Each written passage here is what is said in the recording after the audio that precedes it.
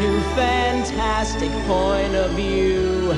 No one to tell us no, or where to go, or say we're only dreaming. Jasmine, shut up!